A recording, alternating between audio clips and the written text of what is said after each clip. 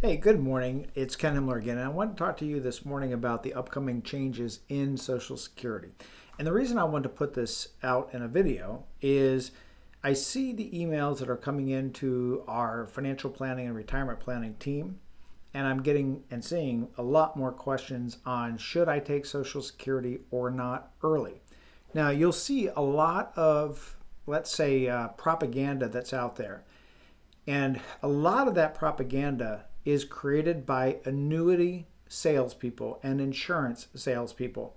You will see a lot of information out there that is purported to come from fiduciaries or financial planners or even financial advisors. I just want to give you a heads up and a warning. This is not necessarily accurate information. There is an annuity sales trick to get people to delay Social Security. And what they do is they sell an annuity to backfill the period of time from the time that you are eligible for Social Security until the maximum deferral period, which is now 72 or 70 years old. So the problem I have with that is it doesn't really look at the true mathematics or the calculations. Now, while I'm not going to get on this video today and tell you about what you should do, here is what I am finding when I'm reviewing hundreds of Social Security analysis that our team of financial planners are performing. What I am finding is that the current value of taking Social Security now outweighs the delay, and it's happening at about 85 to 90% of the time. So, to start, if you're looking for a short answer of I absolutely should take Social Security early, or I absolutely should take it until I uh, the, the maximum period of time at age 70. I can't tell you which one is actually right for you. What I can tell you is that every time you, any kind of financial decision should be done with calculations, meaning somebody should be calculating this and there should not be an agenda to sell you something like an annuity. There should be hardcore calculations. Now, some of you might step back and go, well, I don't understand. Why, why, what, what is the difference? Who could benefit by taking it early and who could benefit by delaying it. I'm going to categorically give it to you, but again, I'm going to implore you get a calculation done. And if you're getting it done for free, you have to question that to begin with. If some person says that they're a financial planner, financial advisor, and they're going to do that calculation for you for free, I wouldn't put any value in it because they're going to try to sell you something. So I can tell you we don't do it for free. We charge just like you would pay to have a tax return done, we charge for a pure Social Security analysis, which then you can depend upon that information being completely accurate because we don't have any agenda to sell you something. We're charging you by the hour to do it. So here is where Social Security sometimes benefits you by taking it early or it benefits you by maybe taking it a little later. So let's take a look at the two different parts there is what's called earliest retirement eligibility. Now, you might, depending upon what year you were born, take it as early as 62, but there's a slide up scale based upon the year that you were born of when you could take Social Security and what that amount would be. So these annuity salespeople promote the idea that look, if you wait until age 70, look how much more you could get. And that's because the growth rate is between 7 to 8% on the deferral. But there's caveats with this. And here's the big caveat. If you wait until age 70, we utilize what's a, calculation called a break even period of time.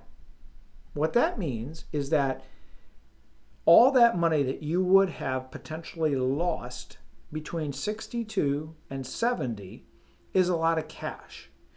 And if you waited until age 70, that cash that you lost out on has what's called a break even period of time. You have to catch up with all the money that you've lost out on. So, what is that break even period today? Well, it has helped that interest rates have gone up quite a bit. That break even period of time was hitting about age 84 to 86. Now it's hitting about age 81 to age 82. But again, that is solely dependent upon interest rates and what we can compute an estimate of future growth on that money would have been and what it's going to take you to get it back. So it really depends on your attitude towards things too. If you believe what the government is saying, that by the year 2035, Social Security will be bankrupt, and that's the path that they're on, what will they then do? Will they then reduce the amount that they're giving you? Will they then take back some Social Security? We've seen some of the political pundits that have said, uh, you know, if you're earning over X number of dollars per year, you still have to pay into Social Security, but you will no longer be eligible for Social Security. Or what they're doing now is the other proposal is tax you up to $400,000 on Social Security. Or there's another proposal in there that says right now, if I look at these uh, earning limits, in 2025, you can earn up to $176,000. And remember, when you pay into Social Security, you are paying half, your employer is paying half. So Social Security is 12.4%. 6.2% you pay, 6.2% your employer pays. So you only pay that up until, up until you get to $176,000 per year. Above that, you stop paying for Social Security. So when we look at when you should take it, and let's say you took it at age 62, and you're going to take a greatly reduced amount of money each, each month. However, if you calculated, let's say I'm going to use an example here. Let's say you took in $2,000 per month, and that's $24,000 in a year. And the estimates were that if you waited until age 70, let's say that you'd be eligible for, let's just say for the heck of it, the maximum, which right now is going to be, let me find it here, 30, uh, actually 2025, it's going to be two, uh, $4,018 per month.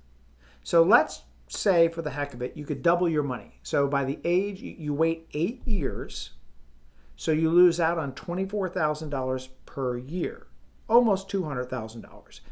If you included what you could earn on that money, probably closer to about $250,000.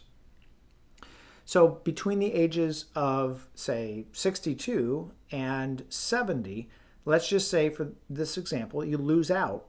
You could have gotten that quarter million dollars.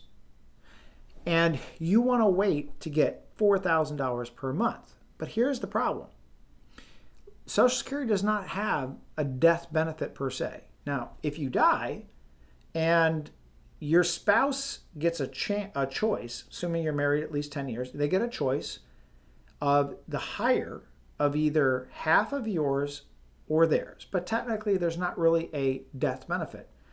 So, conclusively, you could live until age 70 and you've deferred your Social Security you now take your first check and you die. It's all gone. You've taken that risk. So let's add up the risks. Social Security bankrupt by 2035. You defer, and day later you die. That all has been gone. Third thing is, let's just use that same assumption. You take the, the payment at age 62, but you saved the quarter million dollars. Now let's just say you banked it. You didn't spend it, you banked it. Now, when you die, age 70 and a day, at least your family has that quarter million dollars. Now, th- that doesn't exclude the fact that your spouse is still eligible for that 50% of yours or theirs, whichever is greater. It just means that you've lost out on a quarter million dollars. Now, sometimes you might have what's called an earning penalty. This just simply means that you earn more than what they limit and then they penalize you. So here's an example of this. Let's uh, let's look at 20 oh let's let's look at 2025 here. Okay, so you can earn in 2025 a total of let's find it here. Uh, under full retirement age $23,000.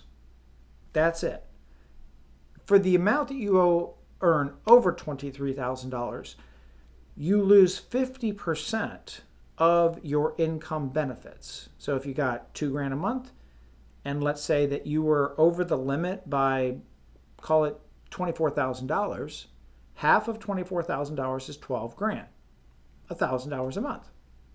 So if you were if you were supposed to get $2,000 a month on Social Security, but you were earning 24,000 over the limit or a total of 47,000, you're going to lose $12,000 of your Social Security benefit.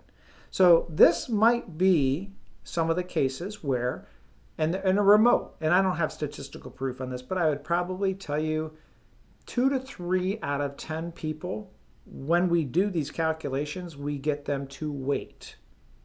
Now, that doesn't mean wait until 70. Remember, there's three points. The first point is early retirement, the second point is full retirement, and the third point is the longest period, which is age 70, that you can wait and get a bump up in waiting, a deferral. So it's typically most people think of age 62, age 65, and age 70. Now that may not be the case for you, depending upon what year you were born. So let's just summarize this up. So you can get rid of all the hype and media out there that tells you to do one thing or the other. I mean, if you turn on any of these financial gurus, they're they're giving you an absolute. They're saying you should always, whatever it is, wait until 70 you should always take Social Security early. While the statistics are cited on one way, which is take it early, it doesn't mean that that's for everybody. You might be one of those two or three out of 10 that you should wait. But let's summarize this down into what you can do next absolutely get a full Social Security calculation done. Don't depend upon these internet calculators, they do not work. They will give you inaccurate information. And do not try to save a penny and lose a dollar. So if somebody says to you they will do a full Social Security calculation and they're going to charge you 250 to $500, for goodness gracious sakes, pay them. It's like paying a really good accountant to make sure that you don't get audited or in trouble with the IRS pay the fee. You're talking about hundreds of thousands of dollars at risk, and you can't and don't take the simple, fast, cheap way out by doing these online calculators.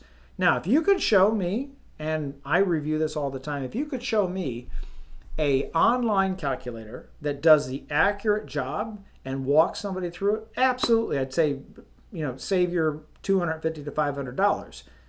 I review these all the time, and I've not seen yet one single one that actually gives the accurate information. When we do our calculations, and then you go online and you see what everybody else is doing with these free calculators, they are so far off because they're not really doing your tax returns. They're just kind of giving you a future value, present value estimate. So, number one, get it done. Do the calculation. And if things, if you had the calculation done a year or two ago and something Major League has changed, then get a new calculation done. Again, do not try to save a penny when you can lose a dollar. And with that in mind, keep on keep on this channel and please go ahead and subscribe so that you know when I release new information because as things change within politics and economies and especially with what's going on right now with our inflationary mess, our world and uh, macroeconomics being a mess, Please subscribe because I'm going to start releasing more information as time goes along that you can really use to help yourself.